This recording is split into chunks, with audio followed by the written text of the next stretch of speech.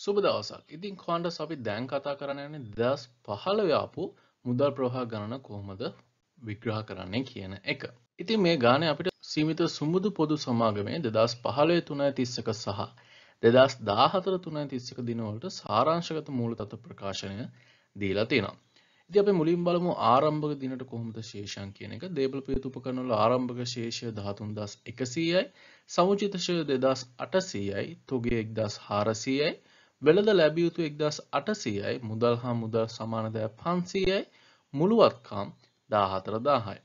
ප්‍රකාශිත කොටස් ප්‍රාග්ධනය ආරම්භක දිනට අටදාහයි රදවාගති පැවුම් හාරදස් හාරසීයයි වෙළද ගෙවයුතු ද එක්දස් හයිසීයයි සහ මුළු වගකීම් හා හිමිකම් දාහතර දාහයි. අවසාන දිනට ශේෂම් බැලුවොත් දේපල පිරියත හා උපකරණ දහනමදස් හයිසීයයි දේපල පිරියත සහ උපකරණ සමුචිතශය තුන්දස් අටසීයයි තොගේ එක්දස් පන්සීයයි වෙළද ලැබියුතුද එක්දස් හයිසීයයි මුදල් හා මුදල් සමානදෑ හාරසීයයි මුළුවත්කම් දහනමදස් තුන්සියයි. ප්‍රකාශිත සාමනකොටස් ප්‍රාග්ධනය අවසාන ශේෂ නමදස් පන්සියයි රදවග තිපැවුම් පන්දස් පන්සියයි ඉඩම් සඳහන් අය දෙදස් හාරසීයයි වෙළද ගෙවියුතු දෑක් දස් හත්සිය පණහයි නයමත ගෙවියුතු දෑ එකසිය පණහයි සහ මුළු වගකින් හා හිමිකම් අවසාන දිනට දහනමදස් තුන්සීයයි. ඉති අපිට මේ දීලා තියෙන තොරතුරු අනුව අපිට මේ දෙදස් පහළවේ මුදල් ප්‍රවාහ ගණන හදන්න පුළුවන් වක්‍ර ක්‍රමයට අනුව. ඉති මේ මුදල් ප්‍රවාහ ගානේ පළවෙනි ගැලපිලි තුනම තියෙන දේපල පිරිත උපකරණ හා සම්බන්ධව.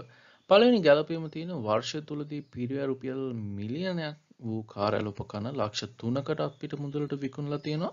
විකුණු දිනේදී මෙම උපකරණ වල ධාරණ වටිනාකම අපිට දීලා තියෙනවා රුපියල් ලක්ෂ 6ක් විදිහට. දෙවැනි ගැලපීම තියෙන දෙදස් දාහතර හතරයි එක දින රුපියල් මිලියන තුනක් වටිනා ඉඩමක් ණයට මිලදීගෙන තියෙන මෙම ණයමුදල රුපියල් ලක්ෂ හයක් බැගින් වූ සමානවාරික පහකින් ප්‍රවර්තන වංශයේ සිට ගෙවන්න ඕනේ. තවද මූලික ණය මුදල මත 105ක වාර්ෂික පොලියක් ගෙවිය යුතු වේ. ඉතින් මෙතන දේපල පියතු උපකරණ හා සම්බන්ධ තොරතුරු වලට අමතරව ණය පොලි හා ණය වාරික ගෙවීම සම්බන්ධව තොරතුරුත් අපිට දීලා තියෙනවා. ඉතින් මෙතන වසරට අදාළ ණය පොලි අපිට ගන්න පුළුවන් 150ක් විදියට. මොකද රුපියල් මිලියන 3ට 105ක් 150යි. ඒ 150 බදු පෙරලාභයට එකතු කරන්න ඕනේ. මොකද අපි වක්‍ර ක්‍රමයට මුදල් ප්‍රවාහ හදද්දී පදනම විදියට ගන්න බදු පෙරලාභය. ඉතින් වසරට අදාළ පොලිය දැනටම බදු පෙරලාභයෙන් අඩු වෙලා තියෙනවා. ඉතින් ඒක නිසා අපි බදු පෙරලාභයට එකතු කරලා ගැලපුම් සිද්ධ කරන්න ඕනේ. සහ මේක වර්ෂ අවසානයේ උපජිත පොලිය තියෙන 150ක් ඒ කියන්නේ මේ වසරට අදාළ 150 අපි තම මුදලින් ගෙවලා නැහැ. ඉතින් ඒ අනුව අපිට කියන්න පුළුවන් මේ මුදල් ප්‍රවාහයේදී මුදලින් ගෙවූ පොලි නැහැ කියන එක. සහ මේක ඊළඟ තොරතුරු තමයි ඉඩම් ණයවාරික ගෙවීම 600ක්. මේක අපි මූල්‍ය ක්‍රියාකාරකම් යටතේ මුදල් ගලා යාමක් විදිහට වාර්තා කරන්න ඕනේ. තුන්වෙනි ගැලපීම තියෙන වර්ෂය තුල අත්පත් කරගත් අනිකුත් සියලු දේපල පිරිත සහ උපකරණ අපිට මුදලට තමයි මිලදීගෙන තියෙන්නේ. ඉතින් මේ කියපු දේපල පිරිත උපකරණ හා සම්බන්ධ ගැලපිලි අපි බලමු කොහොමද සටහන් කරලා මුදල් ප්‍රවාහයට අදාළ තොරතුරු ගන්න කියන එක. ඉතින් මුලින්ම කාර්යාල උපකරණ විකුණුම් ගිණුම මේකේ පිරිවැය අපිට දීලා තියෙනවා 1000 සහ මේක විකුණන්නේ 300කට අපිට දීලා තියෙනවා සහ සමුචිත ෂයත් අපිට දීලා තියෙන 400ක්. ඒ අනුව කාර්යාල උපකරණ විකුණුම් ගිණුමෙන් අපිට හොයාගන්න පුළුවන් මේ කාර්යාල උපකරණය විකුණලා අපිට ලැබෙන අලාභය 300ක් විදිහට.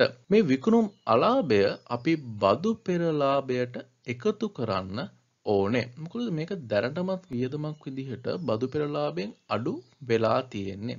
හැබැයි අපි මුදල් ප්‍රවාහ සැලකීමේදී අපි අවධානය යොමු කරන්නේ මුදලින් වෙච්ච ගනුදෙනු හා සිද්ධීන් වලට විතරයි. ඉතින් මේ කාර්යාල උපකරණ විකුණුම් අලාභය මුදලින් වුණ ගනුදෙනුවක් නෙමෙයි. හැබැයි ඒක දැනටමත් බදු පෙරලාභයෙන් අඩු වෙලා තියෙන්නේ. අන්න ඒක නිසා අපි ඒක බදු පෙරලාභයට එකතු කරන්න ඕනේ. සහ මෙතන මේ කාර්යාල උපකරණ විකුණුම් මුදල් ප්‍රවාහය අපි ආයෝජන ක්‍රියාකාරකම් යටතේ මුදල් ගලා යාමක් විදිහට වාර්තා කරන්න ඕනේ. ඉතින් දේප්‍රවිත උපකරණ ගිනුමට ආවම දේප්‍රවිත උපකරණ ගිනුමේ ආරම්භක ශේෂය 13100ක් සහ අවසාන ශේෂය 19600ක් විදිහට අපිට දීලා තියෙනවා. සහ මේ කාර්යාල උපකරණ විකුණුම් ගිනුමට මාරු වෙනවා ඒ උපකරණවල පිරිවැය 1000ක් සහ ඉඩමක් අරන් තියෙනවා ඉඩම් නායකයින් 3000ක් ඒ අනුව මෙතනදී අපිට හොයාගන්න පුළුවන් දේපල පිරිත උපකරණ මුදලින් කොච්චරක් වසරේ අරගෙන තියනවද කියන එක. ඉතින් ඒ අනුව අපිට හම්බෙනවා රුපියල් 4500ක දේපල පිරිත හා උපකරණ ගැනුම්. ඉතින් මේක අපි වාර්තා කරන්න ඕනේ ආයෝජන ක්‍රියාකාරකම් යටතේ මුදල් ගලා යාමක් විදිහට සහ ඊට අමතරව දේපල විත හා උපකරණ සමුචිත ෂය ගිණුම ආශ්‍රයෙන් අපි ගන්න ඕනේ වසරේ ෂය කොපමණක්ද කියන එක. ඉතින් අපිට ආරම්භක ශේෂය දීලා තියෙනවා 2800ක් අවසාන ශේෂය 3800ක් සහ කාර්යාල උපකරණ විකුණුම් ගිණුමට මාරු වුණා 400ක්. ඒ අනුව වසරේ ෂය මෙතනදී අපිට එනවා 1400ක්. මේක අපි බදු පෙර ලාභයට එකතු කරන්න ඕනේ. මොකද මේ ෂය කියන්නේ මුදලින් වුණ ගනුදෙනුවක් නෙමෙයි. හැබැයි මේක දැනටමත් බදු පෙරලාභයෙන් අඩු වෙලා තියෙන්නේ. අන්න ඒක නිසා මුදල් ප්‍රවාහ හදද්දී අපි වසරේ ෂය බදු පෙරලාභයට එකතු කරන්න ඕනේ. හතරවෙනි ගැළපිල්ල වර්ෂය තුලදී රුපියල් ලක්ෂ 4ක අතුරු ලාභාංශයක් ගෙවලා තියෙනවා සහ වර්ෂය තුලදී නිකුත් කළ සාමාන්‍ය කොටස්වල සංයුතිය අපිට දීලා තියෙනවා. ඉතින් මේ නිකුතුවේදී හිමිකම් කොටස් නිකුතුවක් තියෙනවා 1000ක සහ රදවාගත් තිපැවුම් ප්‍රාග්ධනිත කිරීම තියෙනවා 500ක. ඉතින් මෙතනදී මේ හිමිකම් කොටස් නිකුතුව සිද්ධ කිරීමෙන් විතරයි ව්‍යාපාරයට මුදල් ගලාගෙන ඒමක් වෙන්නේ රදවාගත් තිපැවුම් ප්‍රාග්ධනිත කිරීම කියන්නේ ව්‍යාපාරේ මුදල් ගලා ඒමක් නෙමෙයි. ඉතින් මේ හිමිකම් කොටස් නිකුතුව 1000 අපි වාර්තා කරන්න ඕනේ ආයෝජන ක්‍රියාකාරකම් යටතේ මුදල් ගලා ඒමක් විදිහට සහ රදවාගත් තිපැවුම් ගිණුමේ ආරම්භක ශේෂය තියෙනවා 4400 අවසාන ශේෂය 5500 ලාභාංශ ගෙව්වා කියලා තියෙනවා 400ක් මේ ලාභාංශ ගෙවීම් 400 අපි වාර්තා කරන්න ඕනේ මූල්‍ය ක්‍රියාකාරකම් යටතේ මුදල් ගලා යාමක් විදිහට. ඉතින් මේ ආශය අපිට ගන්න පුළුවන් කාලච්ඡේදයේ ලාභය 2000ක් විදිහට. ඉතින් මේකේ අවසානයේදී කියනවා මේ සමාගම් බදු නිදහස් කාලයක් තුල ක්‍රියාත්මක වෙයි කියලා.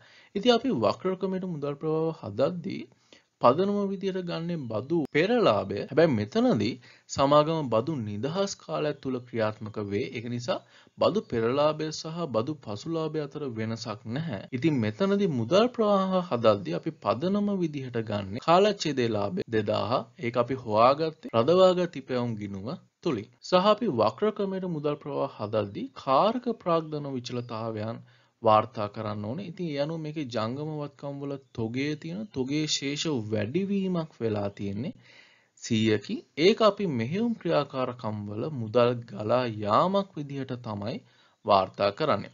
ණයගැතියන්ගේ ශේෂය අඩු වෙලා තියෙනවා 200කින්. මේක මෙහෙයුම් ක්‍රියාකාරකම් වල මුදල් ගලා ඒමක් විදිහට තමයි වාර්තා කරන්නේ.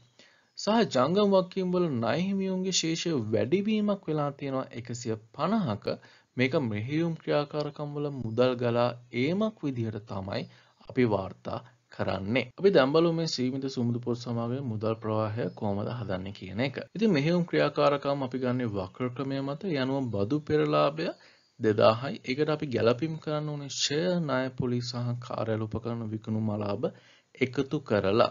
ඒ අනුව අපිට කාරක ප්‍රාධාන ගැලපුම් කිරීමට පෙර ලාභය වෙනවා 3850ක් විදිහට.